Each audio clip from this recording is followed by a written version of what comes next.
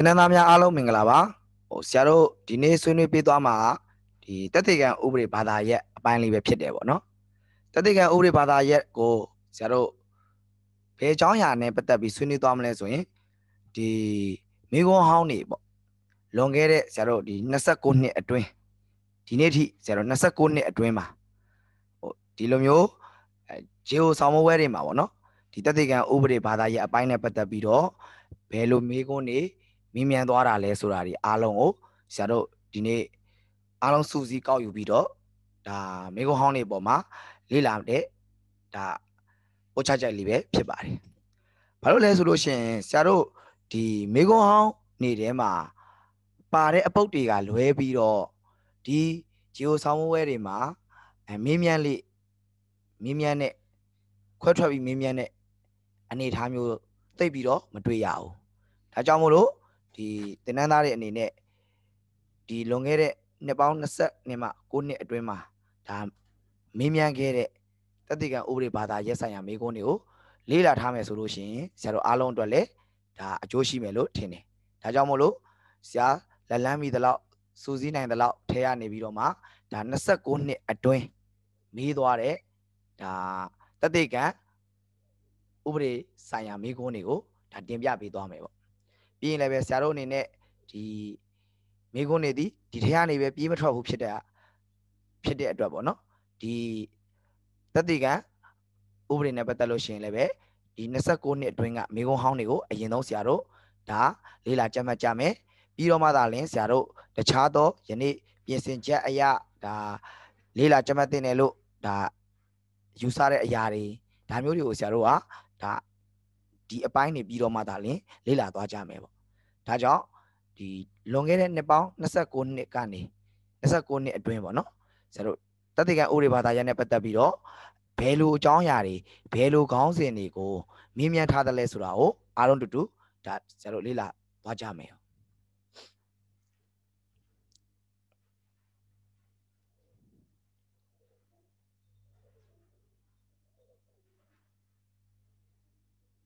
ဆရာတို့ဒီမှာဆိုလို့ရှိရင်အဲမေပရီစုတို့ရှယ်ပရီစုတို့ conclusive proof တို့ဒါဒီအပိုင်းလေးတွေဒါဆိုလို့ရှိရင်သက်သေခံဥပဒေပုံမှဆရာတို့3တို့4တို့မှာပါတဲ့ဒါအကြောင်းလေးတွေပေါ့နော်အဲအဲ့ဒီအဓိပ္ပာယ်ဖွင့်ဆိုချက်ဒီစာပိုက်တွေကိုဒါမေးမြန်းထားတာလေးတွေတွေ့ရတယ်အဲ့တော့ဆရာတို့အနေနဲ့ဒီကုတ်ဆိုပြီးတော့သက်သေခံဥပဒေပုံမှ3မှာပါဝင်တဲ့ဒါအဓိပ္ပာယ်ဖွင့်ဆိုချက်များနဲ့ပတ်သက်လို့ရှိရင်ဒါကုတ်ဆိုတာကနေစပြီးတော့ဒါပုံမှ၄အထိဆရာတို့ ဒါတွေလေ့လာကြက်မှတ်ထားကြမယ်ပေါ့ဘာလို့လဲဆိုရင်ဒီအပိုင်းလေးတွေကနေပြီးတော့ဒါမေးမြန်းထားတယ်မေပရီစုရှယ်ပရီစု conclusive proof ဆိုလို့ရှိရင်ဆရာတို့3ချိန်4ချိန်နီးပါးလောက်ထိမေးမြန်းထားတာကိုတွေ့ရတယ်ပေါ့နောက်တစ်ခုက cross examination re examination တို့ leading question တို့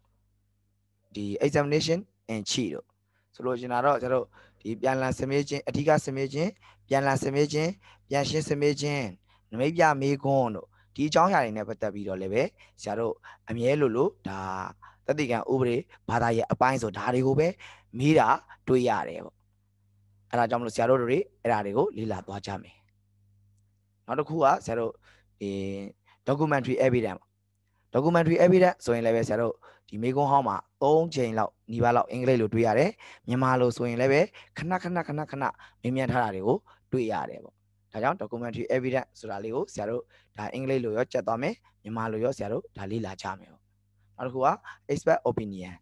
ဒီလိုမျိုး expert opinion ဆိုရင်လည်းပဲအကျယ်ချက်ပြီးတော့ဆရာတို့ဒီမဆုတို့ကြီးတပုတ်စာလောက်မေးတာလည်းရှိတယ်ဒါမှမဟုတ်ရင်လည်းပဲ expert opinion ကိုဆရာတို့ဒီအပုတ်ကြီးတစ်ပုတ်နဲ့တွဲပြီးမေးမြန်းလာတာလည်းရှိခဲ့တယ်ပေါ့လွန်ခဲ့တဲ့29နှစ်အတွင်းမှာပေါ့ သို့ပေမဲ့လည်းပဲဒီနေ့မှာတော့ဆရာတို့မေကုန်းပုံစံတွေပြောင်းသွားပြီအဲပြောင်းသွားတဲ့အပေါ်မှာဆရာတို့ဒီ expert opinion ကိုဘယ်လိုပုံစံမျိုးလေ့လာထားမလဲဆိုတာဆရာနောက်ပိုင်းမေကုန်းပုံစံတစ်ပြောင်းတဲ့ဟာနဲ့ချိန်ပြီးတော့ရှင်းပြပေးပါမယ်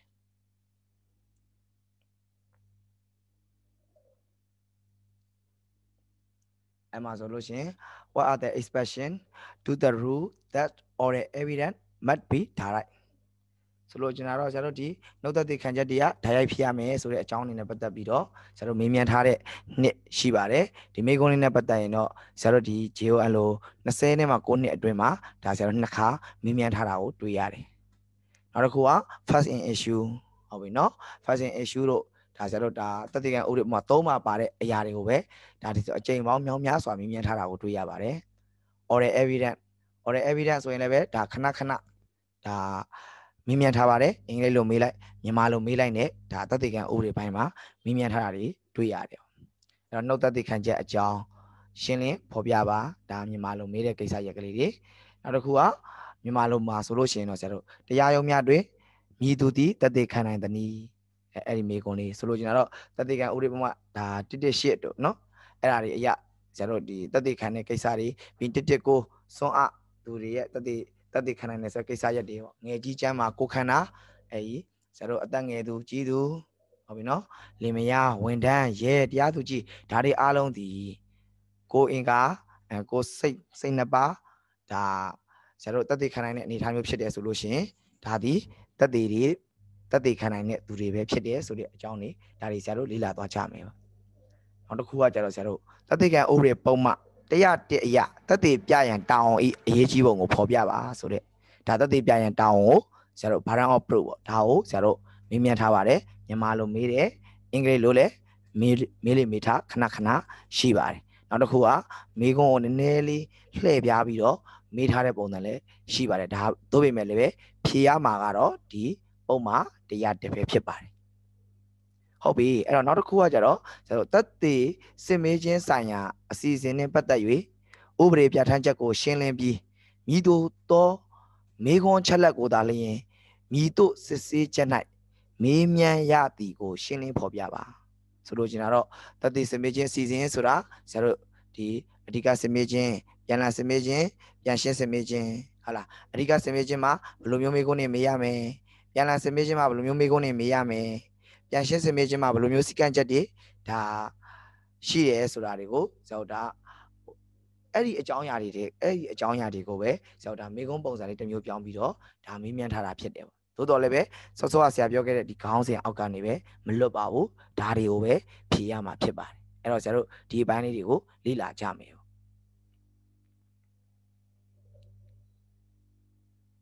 နောက်တစ်ခုကဆရာတို့ဒီတေကန်နီထွက်ဆိုချက်ဒီ ညီများတန်ဖို့ရှိသောတက်တေကန်ချက်ဖြစ်ပါသည်နီဒါတေကန်နီထွက်ဆိုချက်ဒါလေးဆိုရင်လည်းပဲဆရာတို့၄ချိန်နီးပါးလောက်ထိတွေ့ရပါတယ်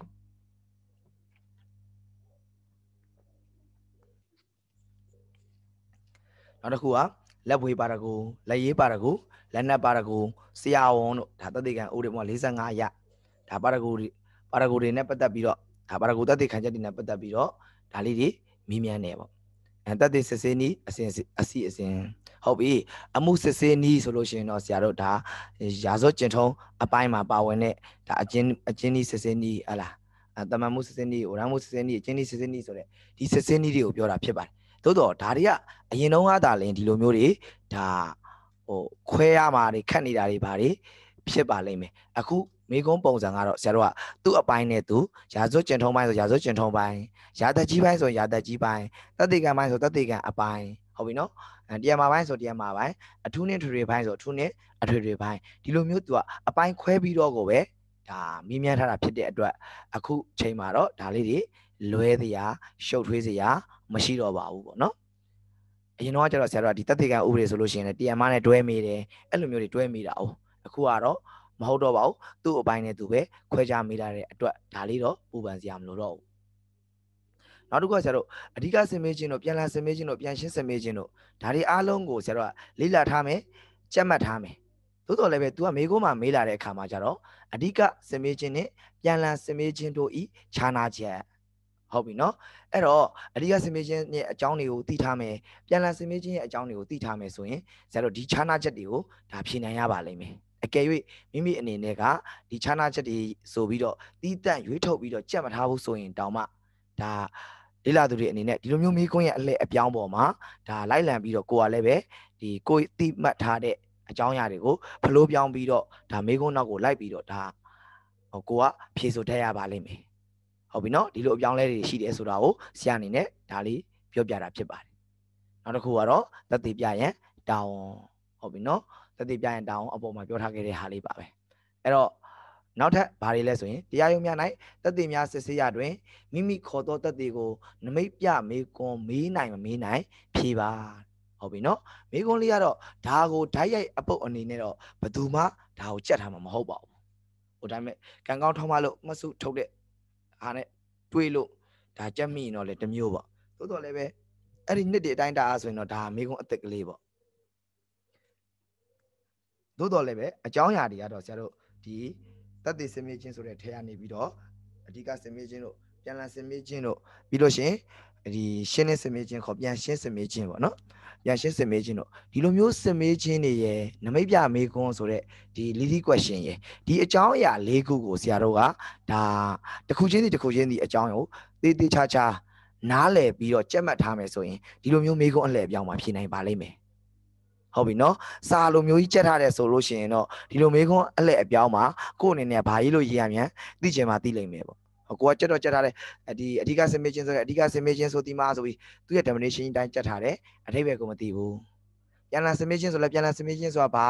အထိပ္ပယ်ကြီးကိုပဲကြက်ထားတယ်သူ့ရဲ့ဆရာတို့ဒီဟိုတကယ်အနှစ်သာရသူ့ရဲ့အကြောင်းအရာကိုချက်ချင်းမြင့်မသိဘူးဆိုရင်တော့ဒီလိုမျိုးမေခွန်းအလှည့်အပြောင်းလေးတွေမှာအဲ့လို မျိုးကြက်ထားတော့ပုံကိုယ်တွေကဒါခံရနိုင်တယ်ပေါ့ဒါကြောင့်မလို့ဆရာတို့သင်ကြားတဲ့နေရာမှာလည်းပဲဒါချက်ချင်းမြင့်တင်တယ်ဆိုတာဒါကြောင့်သင်တာဖြစ်ပါတယ်မင်းတို့အနေမင်းတို့အနေနဲ့ဆိုရင်ဒီအဓိက submission တွေပြန်လာ submission တွေပြန်ရှင်း submission တွေနမိတ်ပြမေးခွန်းတွေဒီအကြောင်းအရာတွေကိုဆရာတို့ကချေချေမြင့်မြင့်သင်ပေးထားလို့မင်းတို့ချေချေမြင့်မြင့်စာမိုးဝဲရမဟုတ်ဘူးချေချေမြင့်မြင့်ကိုယ့်ရဲ့ စိတ်ကိုကဒါနဲ့ပတ်သက်ပြီးလို့ရှင်တကယ်ကိုကာကနနာသိထားတယ်ဆိုရင်အခုလိုမျိုးမေခွန်းအလှည့်အပြောင်းမှာကိုကသူများထက်နာတပြားတာပြီးတော့ကောင်းကောင်းကြီးဖြေဆိုနိုင်လိမ့်မယ်မေခွန်းကဒါကြောင့်မလို့ကိုအမှတ်စုထဲမှာပေးထားတဲ့ခေါင်းစဉ်ကြီးတိုင်းလာမှာမဟုတ်ဘူးဒါကြောင့်ဆရာတို့ကအခြေခံချက်လက်တွေကိုသင်နေရတာဖြစ်ပါတယ်အလကားနဲ့အလကားအခြေခံချက်လက်တွေကိုသင်ပြီးတော့ဟိုစောင်းမွေးနဲ့မဆိုင်တဲ့ရှီကိုဆွဲခေါ်သွားတာမဟုတ်ဘူးဟုတ်ပြီနော်ဒါဆရာကြုံလို့မေခွန်းလေးနဲ့ဒါနမူနာချပြတာပါ ဟုတ်ပြီနောက်ထပ်ဘလို့မေခွန်းလေးမေးမေးထားဘူးလဲဆိုရင်တရားရုံး၌တက်တင်များစစ်ဆေးရတွင်ယုံမေးကိုသင်မြည်တို့နားလဲပါတနည်းယုံမေးတွင်တရားရုံးမှနမိတ်ပြမေခွန်းမေးခွင့်ရှိမရှိ ဖြေဆိုပါဒါမျိုးဆိုရင်လည်းပဲဆရာတို့ဒီဖြေဆိုသူတွေရဲ့ဒီမိမိတို့ကြက်မှတ်ထားတဲ့စာတွေပေါ်မှာဘလောက်တောင်အခြေခံကြကြနားလဲတယ်လဲဆိုတာကိုစစစ်တဲ့မေခွန်းမျိုးဖြစ်ပါတယ် ဘာလို့လဲဆိုရင်ဒီအကြောင်းအရာကြီး day to day ဆရာတို့ဒီမှတ်စုကြက်မှတ်ထားမှာမဟုတ်ပါဘူး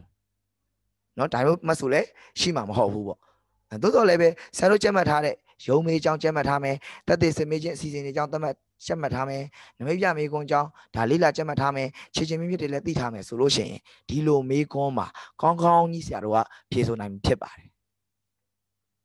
ဟုတ်ပြီနော်ဒီလိုမေးခွန်းမှာဆရာတို့ကကောင်းကောင်းကြီးဖြေဆိုနိုင်ပါလိမ့်မယ် ဒါကြောင့်မလို့အခြေခံကြကြနဲ့လက်တွေ့ကြကြလေးတွေတွေးတောပြီးတော့ချိတ်ဆက်ပြီးတော့စာလိုသဘောထက်တကယ်လက်တွေ့ကိုသိပြီးတော့ဒါကြက်မှတ်တဲ့နီလန်းလေးလာတဲ့နီလန်းဟလာသဘောပေါက်တဲ့နီလန်းဟာဒါလင်းဆောင်းဝဲမှာမေခွန်းအလှည့်အပြောင်းနေပေါ်မှာကောင်းကောင်းကြီးတန်ခံနိုင်တာဖြစ်ပါတယ်ဟုတ်ပြီနောက်ထပ်ပါတယ်မိထားသေးတဲ့ဆရာတို့ကြည့်ကြမယ်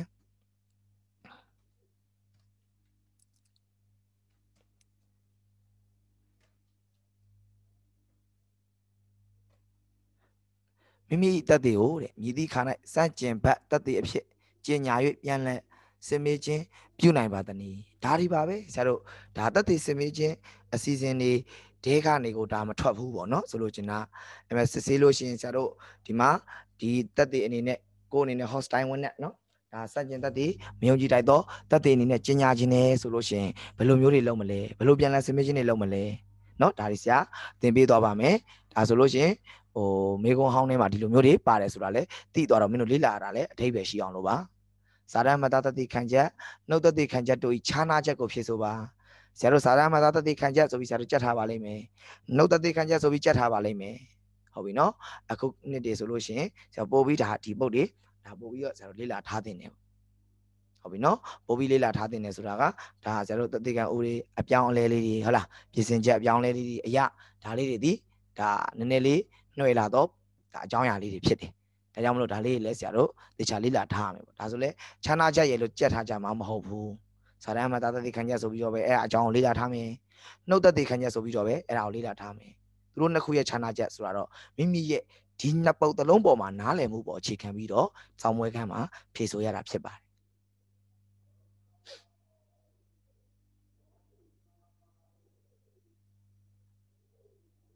နမိတ်ပြမေကွန်ကြောင်းနော်အတွင်းရေးပြောဆိုဆက်သွယ်ခြင်းတတိကံအဥရေပုံမှာဆရာတို့129ပေါ့ရှင်းနေတဲ့အမှုတွေဒါပြောတဲ့ကိစ္စရက်ကလေးတွေနောက်တစ်ခုကမူရင်းတတိခံချက်နဲ့ဒုတိယအဆင့်တတိခံချက်တို့အကြောင်းဖြေပါရေးပါဖော်ပြပါမှတ်စုထုတ်ပါဒါမျိုးတွေမေးပါတယ်ဟုတ်ပြီနော်အဲ့တော့နောက်တစ်ခုကပြန်လည်စင်မေးရတွင်တရားဥပဒေနဲ့အညီမေးနိုင်သောမေးခွန်းများကိုဖြေဆိုပါ ပြန်လည်စင်မေးခြင်းအကြောင်းကိုဂဂနနာကြီးမေးထားတာပဲဖြစ်ပါတယ်စောစောကတတိစင်မေးခြင်းအစီအစဉ်ကိုပဲကြာကြာနာနာနားလည်ထားရင်ဒီမေးခွန်းကိုဖြေဆိုနိုင်ပါလိမ့်မယ်ဟုတ်ပြီနော်အဲ့တော့နောက်တစ်ခုကကျတော့ကျတို့ဒီမှာအပိတတတိခံချက်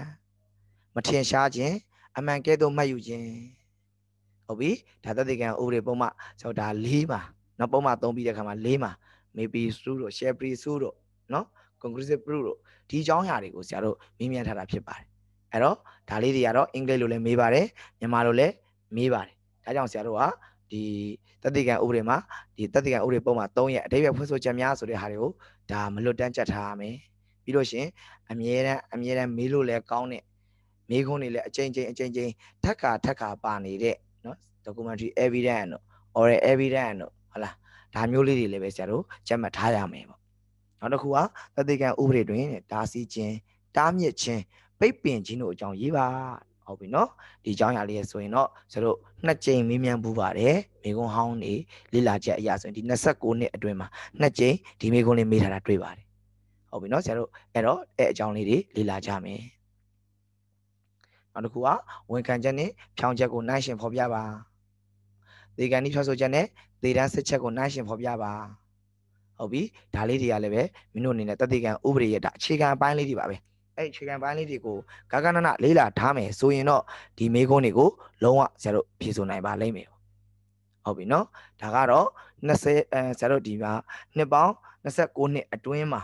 ဒါမေးမြန်းသွားတော့ဒါတတိကံဥပဒေနဲ့ပတ်သက်တဲ့မေခွန်းဒါအားလုံးအကုန်ပါပဲ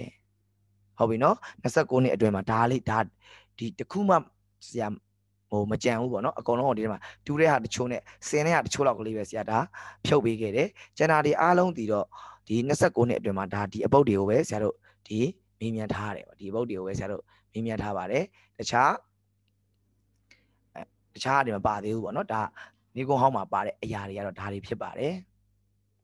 ဟုတ်ပြီအဲ့တော့အဲ့လိုမိကုံဟောင်းနေတဲ့ကနေပဲဒါအချိန်ချင်းထက်ကထက်ကနဲ့မလွတ်တမ်းမေးနေတယ်အဲပြီးရင်အဲ့မိကုံဟောင်းမှာပါတဲ့အပုတ်တွေကိုကြည့်ရင်လည်းပဲမင်းတို့အနေနဲ့ ဒါခဏတာအတွင်း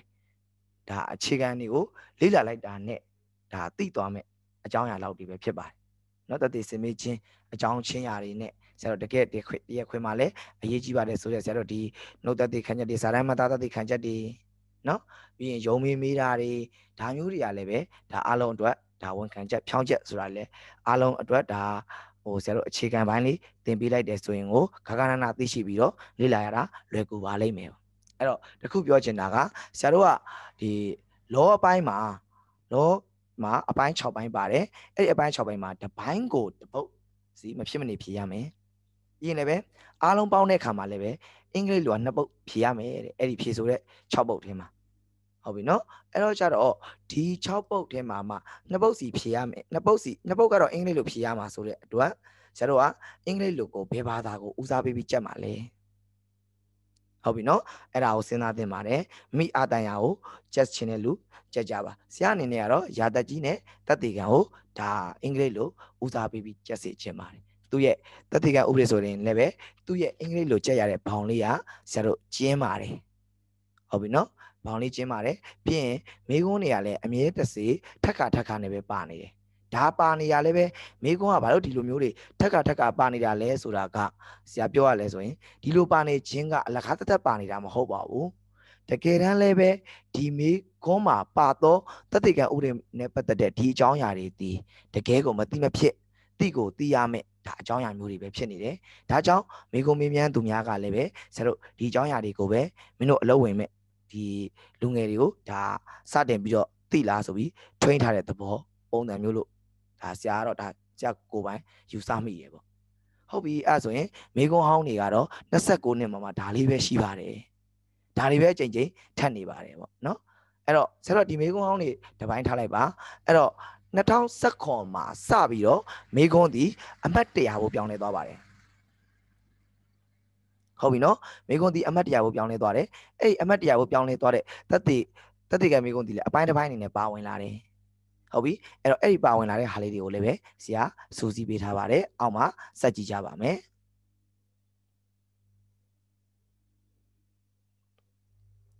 ဒါဆိုရင်2000 2019ကဒါတက်တိကံဥပဒေအနေနဲ့ဆိုရင် तू ကအဲတက်တိကံဥပဒေအပိုင်းမှာမေးထားတာလေးဆိုရင်ဒါ admission ပေါ့ oral evidence ဟုတ်ပြီเนาะဒါလေးအင်္ဂလိပ်လိုမေးပါတယ်နံပါတ်30ကိုနံပါတ်17ကကျတော့စာတမ်းမှာသာတသိခံချက်အကြောင်း ရှင်းလင်းဖော်ပြပါကဲအပေါ်မှာချက်ထားတယ်ဆိုရင်ကိုဒီပု္ပ္ပစာဖြေလို့ရနေပြီပါရဂူကြီးထင်မြင်ချက်အကြောင်းတသိကံဥပဒေရတင်သီးသမျှရေးပါတဲ့အပေါ်မှာတို့တွေ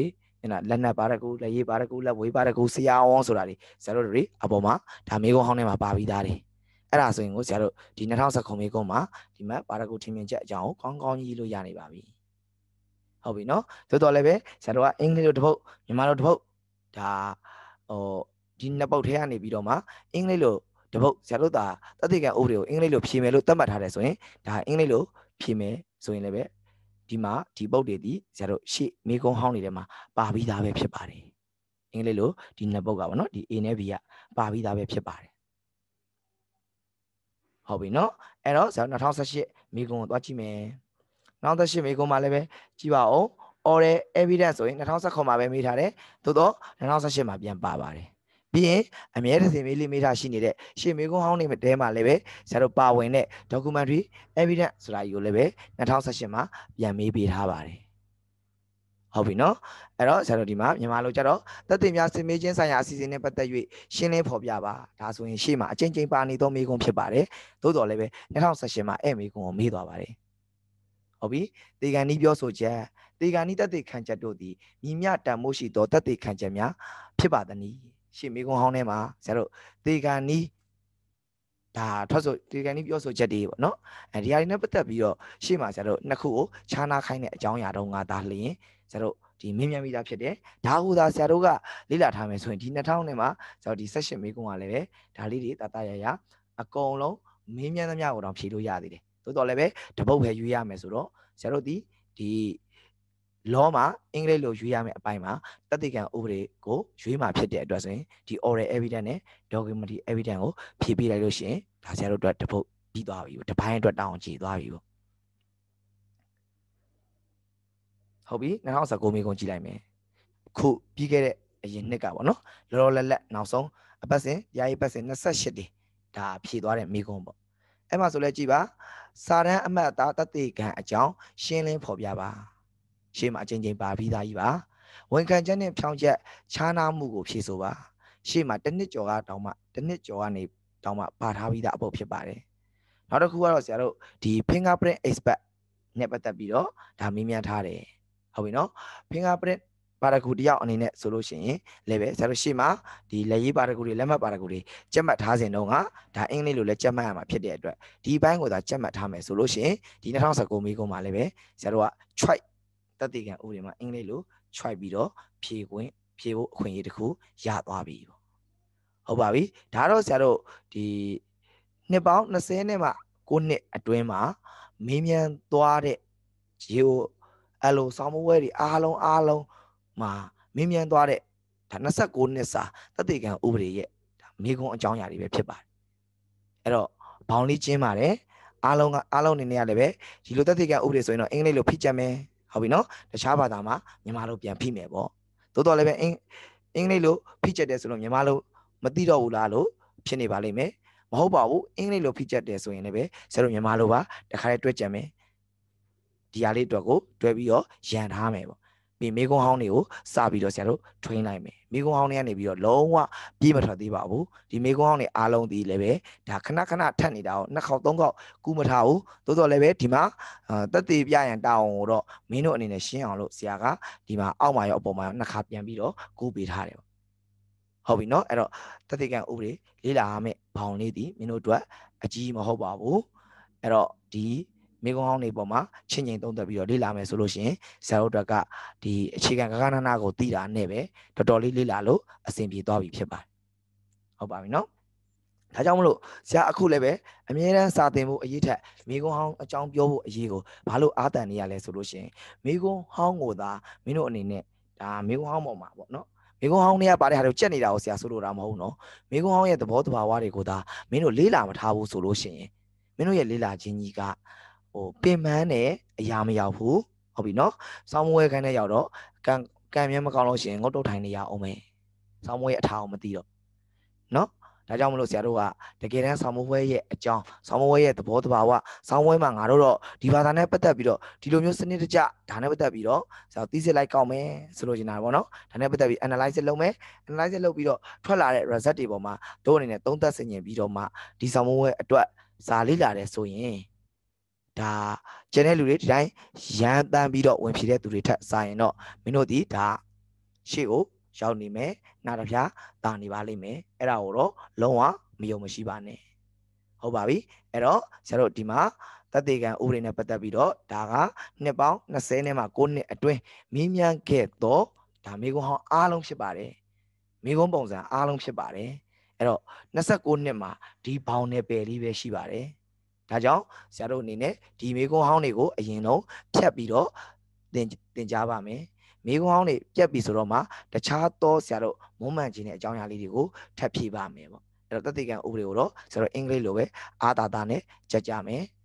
ဟုတ်ပြီနော်အဲ့ဒါဆိုရင်ဒီ တသက်ကံဥပဒေဘာသာရပ်နဲ့ပတ်သက်ပြီးလို့ရှိရင်မိကုန်းဟောင်းရဲ့သဘောတဘာဝတွေဆောင်းဝဲမှာသူ့ရဲ့ပါဝင်မှုသဘောတဘာဝတွေသူ့ရဲ့မေးလိမေးထရှိတဲ့မိကုန်းတွေရဲ့သဘောတဘာဝတွေကိုဒီလောက်ဆိုအားလုံးနားလည်လောက်ပြီလို့ထင်ပါတယ်ဒီဆရာပြောသောအကြောင်းအရာတွေဒီမင်းတို့ကိုဆောင်းဝဲခန်းမှာလုံးဝလုံးဝအကျိုးပြုပါလိမ့်မယ်ဟုတ်ပြီနော်ဆောင်းဝဲအတွက်အကျိုးပြုပါလိမ့်မယ်ဒါကစာသင်တာထပ်ပို့ပြီးတော့ဆရာတို့ ဝေတန်ဖိုးရှိပါတယ်ဗောနော်ဒါဆရာအဲ့ဒါလေးဒါမင်းတို့ယူတတ်ဖို့ပြောတာပါဟုတ်ပါပြီအဲ့တော့ဒီဟာတွေကိုလည်းပဲလိုက်ပြီးတော့ screenshot တွေရိုက်မနေပါနဲ့ဆရာတို့ရဲ့ဒီသင်ကြားရေး group တွေအဲเนาะသင်ကြားရေး private group တွေ messenger group တွေမှာဆရာနေနဲ့ဒါတွေကိုချက်ချင်းတင်ပေးသွားမှာဖြစ်ပါတယ်ဟုတ်ပြီเนาะအဲ့တော့အားလုံးကိုကျေးဇူးတင်ပါတယ်အခုတသက်ကန်ဥပဒေနဲ့ပတ်သက်ပြီးတော့မိခွန်းဟောင်းတွေသဘောတဘာဝတွေနဲ့ဒါသူတို့ရဲ့မိခွန်းရဲ့အထာသဘောတဘာဝလေးတွေကိုသိပြီဆိုတော့ ဒါအားလုံးတသက်ကန်ဥပဒေကိုလေ့လာဖို့အရန်နဲ့ ready ပြင်ထားပါဆရာအနေနဲ့နောက်ဗီဒီယိုတစ်ခုနဲ့ပြန်လာခဲ့ပါမယ်အားလုံးကိုကျေးဇူးတင်ပါတယ်